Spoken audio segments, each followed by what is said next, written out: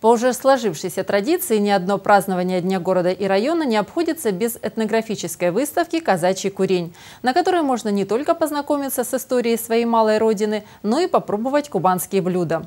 В этом году для гостей праздника в Куренях было проведено сразу два фестиваля – «Смачный борщец» и «Фестиваль риса».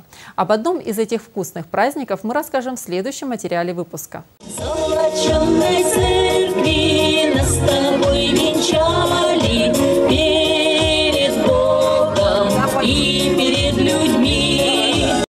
Вот так, с песнями и кубанским радушием встречали курени славенцев На набережной буквально за ночь выросла целая казачья улица. Поселение района для того, чтобы порадовать жителей и гостей праздника, подготовили инсталляции казачьего быта. Каждый желающий мог почувствовать себя в атмосфере далекого прошлого, вернуться на шесть веков назад, познакомиться с самобытной культурой, окунуться в неповторимый колорит кубанской жизни.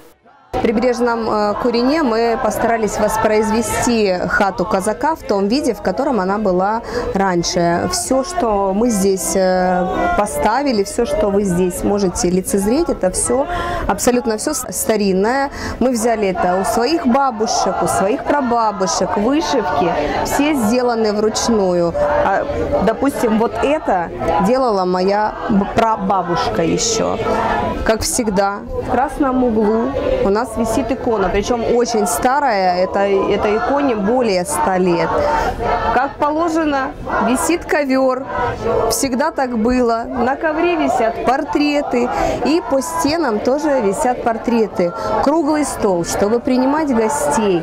Ну и утюг, сундук, зеркало, это все предметы быта, которые были в любой казачьей хате, абсолютно в любой, и они здесь у нас присутствуют. Быт, национальная кухня, народные обычаи и традиции, домашняя утварь. Вот лишь немного из того, что можно было увидеть и попробовать в казачьих куренях. Здесь начинаешь понимать, хоть и за столетия многое изменилось, дух казачества по-прежнему жив и силен. Мне очень нравится. Это настолько возвращает в атмосферу наших дедушек, прадедушек уже для наших детей. Очень, мне очень нравится. Я поздравляю наш район с юбилеем. Э, я желаю процветания нашему городу, нашему району и светлого будущего. Куреня очень красивые, и я бы тоже хотела жить, как раньше потрогать, пофоткаться. Мне очень нравится. Яркие картинки народного быта куреней органично вплетаются в большую картину праздника в честь 95-летия Славянского района. И пока гости наслаждаются неповторимой атмосферой казачьей жизни, радушные хозяйки вовсю хлопочут на кухнях. Лепят пирожки, готовят чесночные пампушки и варят наваристый борщ. В фестивале «Смачный борщец» решили поучаствовать все курени, и каждый хотел удивить чем-то особенным своих гостей. Борщ готовился со старым салом, мы его заталкивали чесноком, как говорили нам бабушки. Э, томат был, использовался только квашеный, его заранее проквасили три дня, а потом закатали, прокипятили. Вот для борща как раз готовили. Теперь у нас борщ готов, он как раньше делался, со старым салом и с квашеным томатом.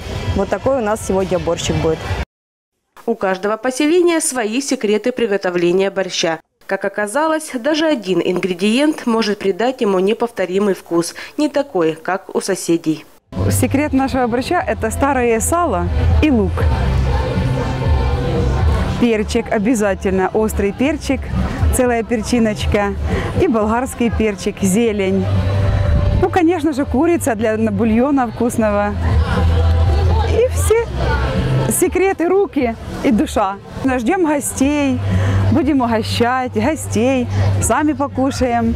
Кто захочет, того покормим. А вот в прикубанском курине секрет хорошего борща видит в хорошем наваристом бульоне. Конечно, домашняя курица, утка – это самое главное как бы в бульоне, да, если будет много мяса и как бы больше, конечно, будет. Ну и любовь. Душа, любовь.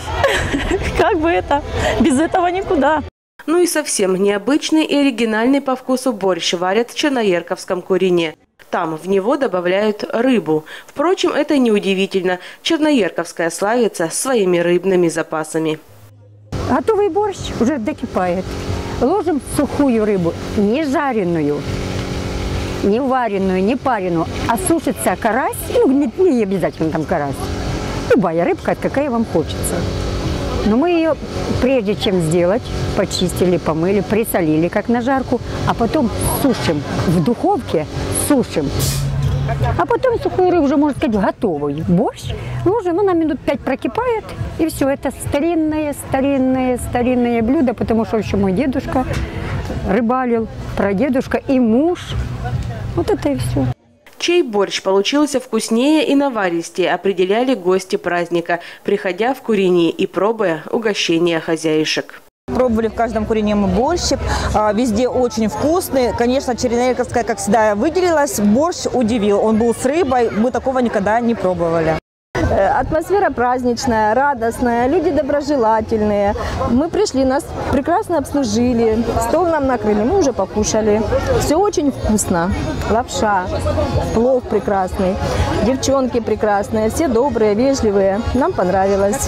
Чтобы от души всех накормить, кубанские кобыти дымились с утра и до вечера, а гостеприимные хозяюшки радушно встречали гостей праздника, показывали им свои подворья, развлекали песнями и танцами. пошла заря по кругу собираться